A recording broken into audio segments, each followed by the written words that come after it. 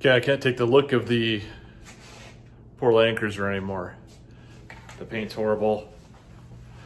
And we're about ready to get some different wheels and tires for it too, some bigger ones. So all the fender flares are, have been ripped off it.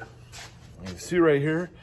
And we gotta still remove some of these bolts, the body bolts here that we're holding those on. And then we're just gonna, we're starting to remove, starting to remove all the lights on it. And then we're gonna fix a bunch of the dents on it because we've got a bunch so on. We've got this big dent back here. We're gonna fix all that up. We've got a few, we've knocked some of these out up in here. We still got a little bit of work to do on that. And then we gotta fill all these holes here before we spray it. Then we'll just go through here and find all the little imperfections, and dents and fix those. We're gonna fill all, all of these holes up. And then the hood has a bunch of dents in it too that we're just gonna fill. We're gonna knock them out as much as we can. Then some of those a little harder because can't get to them. So probably just end up filling those. And we'll go from there. We gotta fill up these little dents here and we're just gonna leave the snorkel on, but we're gonna go ahead and tape around everything on there. Uh, we'll take out the, oh, the antenna here. And then I plan on doing the hood, the fenders, and from this line down, we're gonna we're gonna spray. So we're just gonna go ahead and take all the rest of the lights out and then start prepping and sanding.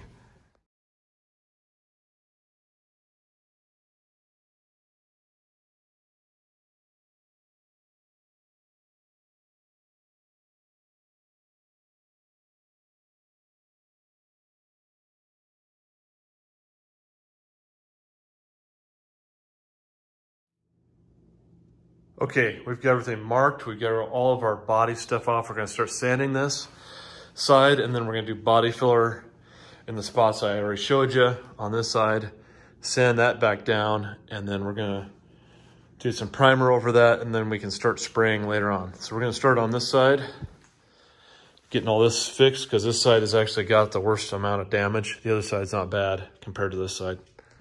Okay, I'm gonna show you what I'm doing just kind of know where all my dents are and stuff that I need to fill.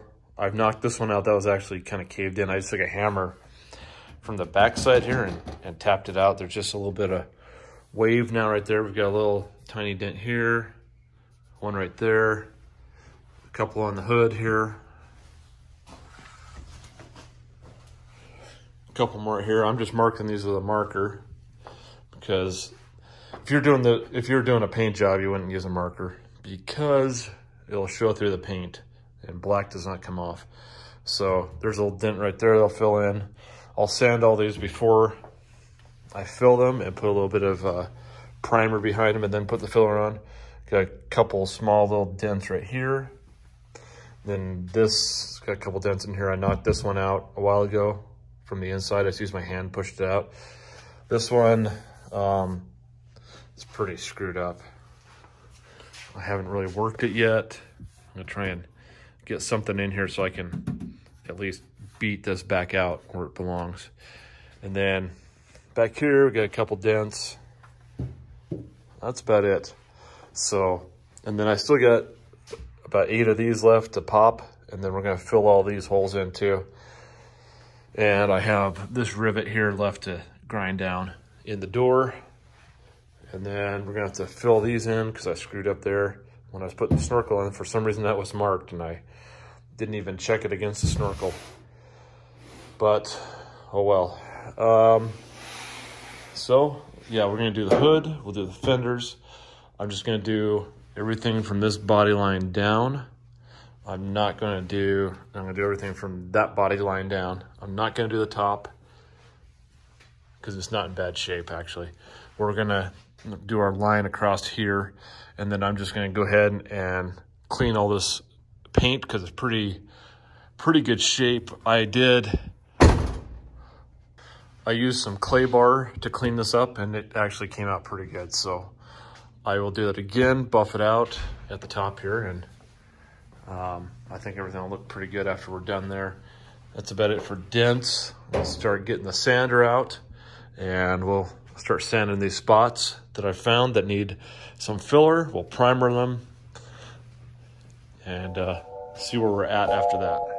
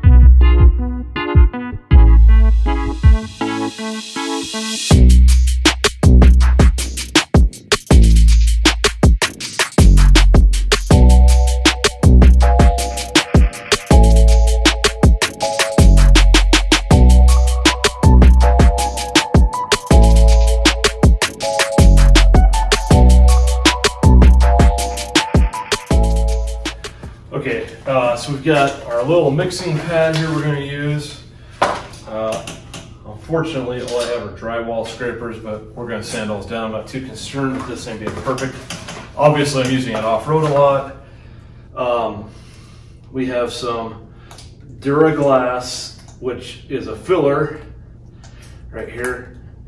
And I would suggest using like a paint stick or something like that to dig this out of here mix it up a little bit before you start using it because mine has settled a bit.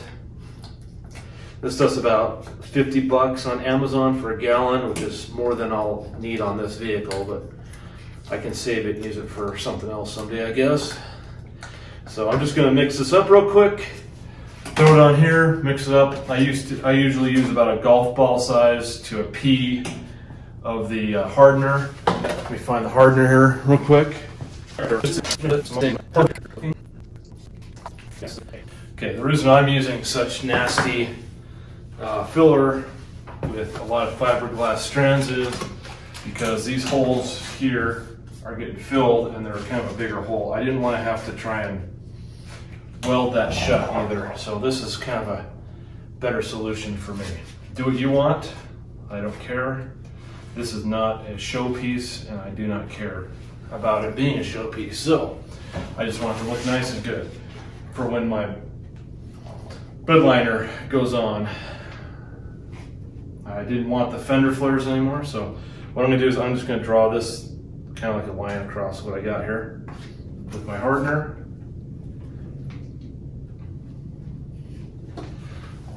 And just take another stick you got here. This is just uh, a door shim, luckily.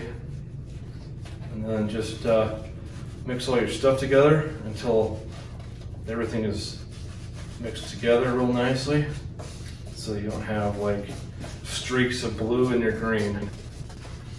Make sure you wear some old nasty clothes you don't care about as well because you do not want this in your good stuff. It will not come out. Okay, now that's on there. You want to start working this stuff fairly quickly.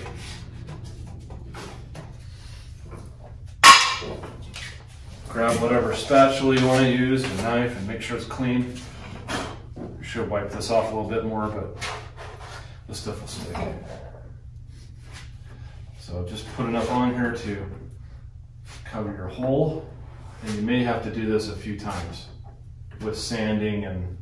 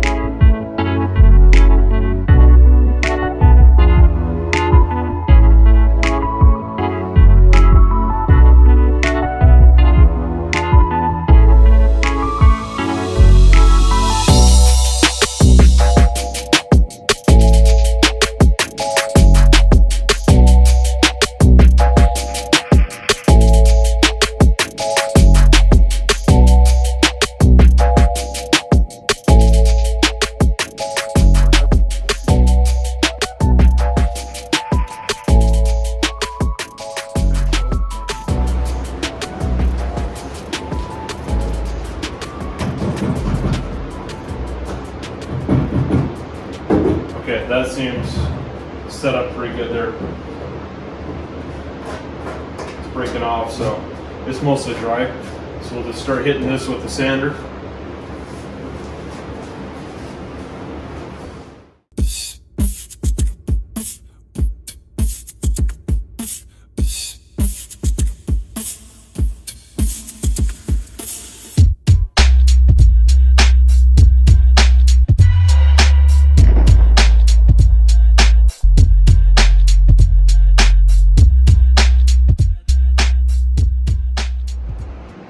All right, guys. So, uh, passenger or driver side, sorry. So the driver side is pretty much filled. I've got a couple more little spots right here, being one, and then uh, let's see, a little pinhole right there. I'm to touch up. Some more sanding right here, and then this thing I'm to go over a few more times and get that nice and filled in and smoothed out. So a lot more work there. I'm gonna have to hand sand down and through all this stuff. Get that really nice, but it's getting nice and straight. We got all these wrinkles worked out right there. All of our holes in the body are filled. So we're making some good progress. We'll start on the other side next. Got the passenger side all sanded down. So next thing we're going to start doing is filling in the holes again like we did on the other side. Looking good. This side doesn't have nearly the body damage. So what I'm going to do here, because this panel, the quarter panel back here is still in good shape, I'm going to try and contour the other side as best I can to match the contour here. So at least I've got that. And then all I really have to do on this side is fill in these holes for the body. I gotta actually grind, grab my grinder here uh, and grind down that rivet just a bit more right there. And then we get a little bit of stuff here I'm gonna try and knock out real quick. I'm gonna put a set of rocker guards on here that I'm building. And then we just got a couple holes here, the holes for all the fenders, and then a couple dents up in here. So I'll probably end up sanding the hood just a bit more so I can find the rest of the dents up there.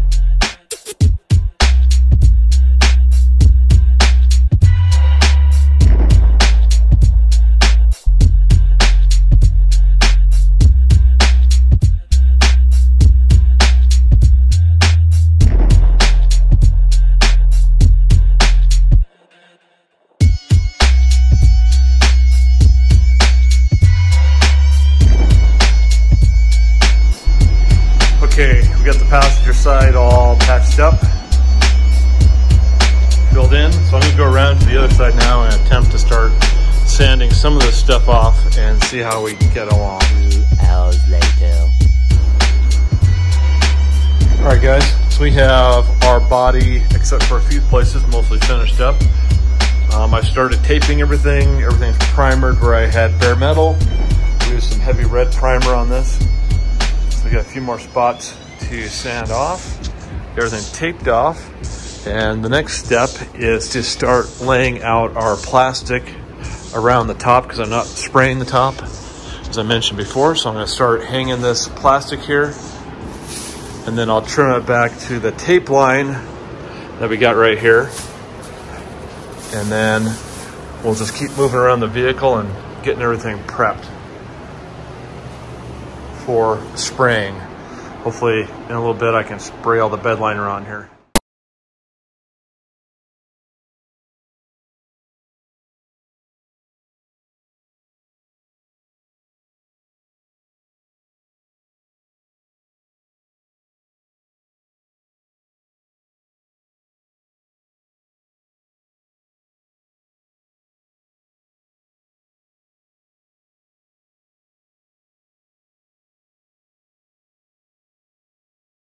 All right, it is finally time to go ahead and Raptor line. There we go. We got our, we got our Raptor liner, and we've got our bottles of tint. We got four of each. So we put these in first, and then we mix it, and then we put our hardener in. So we are ready to start spraying this bad boy and getting her done. Everything's taped off and masked off, so we are ready to spray. we're gonna start doing it. Okay, we have got everything prepped. We're ready to start praying, or not praying. We're ready to start spraying everything. Uh, we've got everything primered, everything sanded, so we're going to start the uh, process of spraying our vehicle down with the Raptor liner. Okay, to mix this stuff up we're doing here, we got this color right here.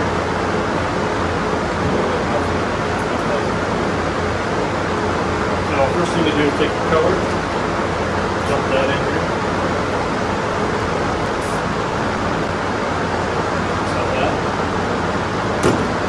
grab your and fill that up to this line.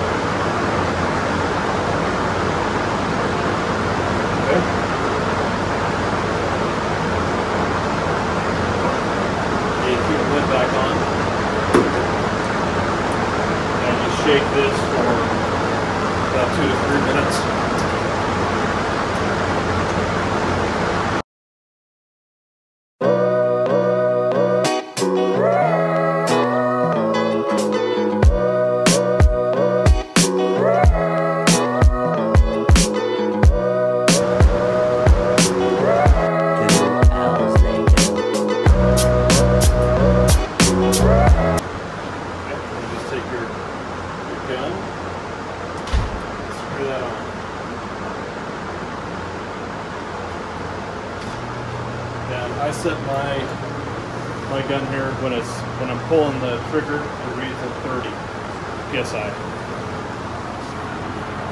And then to spray, all you need to do is uh, to spray. All you need to do is go back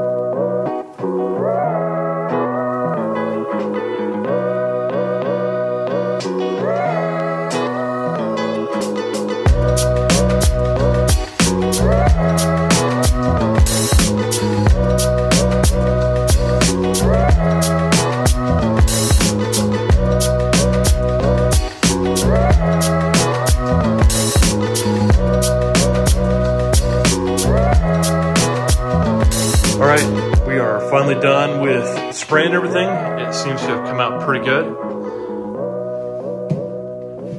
was hoping for a little less texture, but that's okay. I'll live with it. So that didn't take very long to do at all. I think I might need some more right through here. We'll have to order some more, I think. But the rest of it looks pretty good. Everything came out pretty good. It's funny, I used four bottles of that and I thought that would be more than enough, but I barely had enough, as you can see. Um, overall, I like it. It's gonna look really nice when I get all the wrapping off it. Didn't have too much overspray, but it's always good to protect your stuff so you don't have to go clean it off later. All right, so we're gonna wrap that up. We'll start putting it back together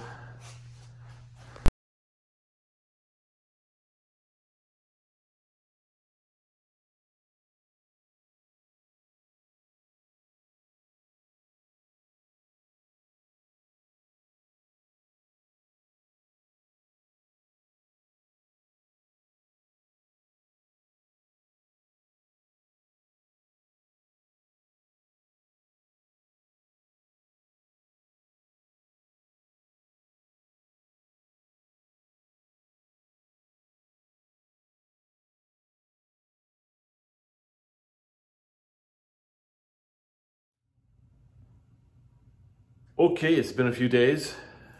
Man, my beard is getting big again. Trimmed it down. Uh, so Raptor liner is dry and looks pretty good. The coverage isn't too bad. And I'll tell you a little secret, don't be mad. I actually had to touch it up because that stuff was not, didn't cover that as well. So the best thing I found, this is gonna be great for touch up later. You can give me crap all you want, but uh, Rust-Oleum.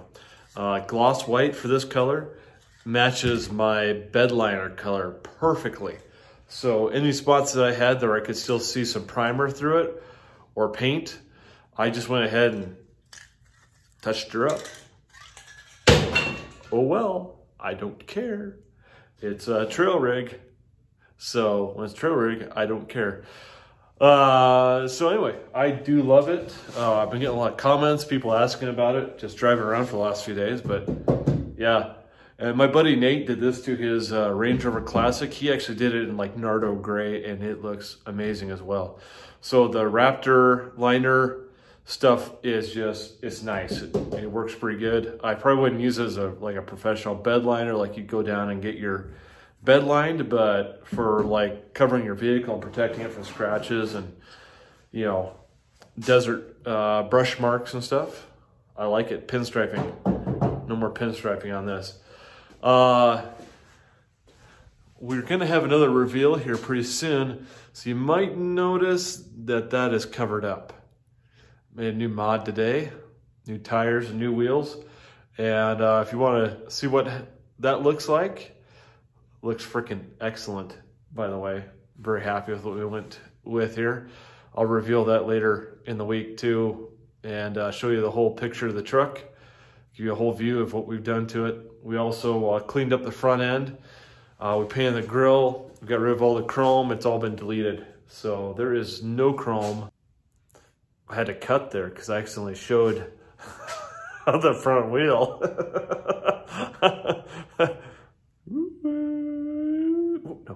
no, can't do that. So there's no chrome left on the truck. Uh, we'll show you the rest.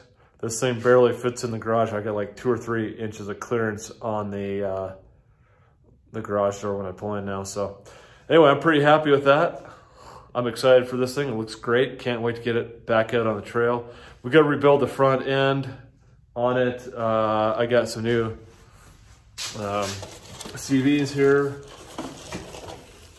Got some heavy duties, uh, brand new, with the tone ring on them for ABS. I don't think my ABS works anyway. The light's on. I don't know that I care. And then a complete axle seal bearing kit and everything up in here. And then I've got some more door speakers to put in, some kicker speaker wire speakers. And I gotta play with the stereo system just a bit more, but anyway, pretty happy with it. All we got left to do to the paint now on the roof is pull the rack and then we're gonna go ahead and uh, we're gonna go ahead and clay bar this uh, paint on the roof in the upper half. And then we got we're gonna go around and pull off maybe some of the trim and repaint it black. But um, next thing we're gonna do too is build a tire carrier for the back here. Get rid of this uh, crummy plastic stuff that's got a dent in it anyway. I don't know how that happened. It was previous to my ownership. Oh, might as well just rip that piece of crap off right now, huh? Anyway, we got a little rust spot right here we're gonna fix. Um, while we're at it, but yeah, pretty excited. This is gonna be a lot of fun.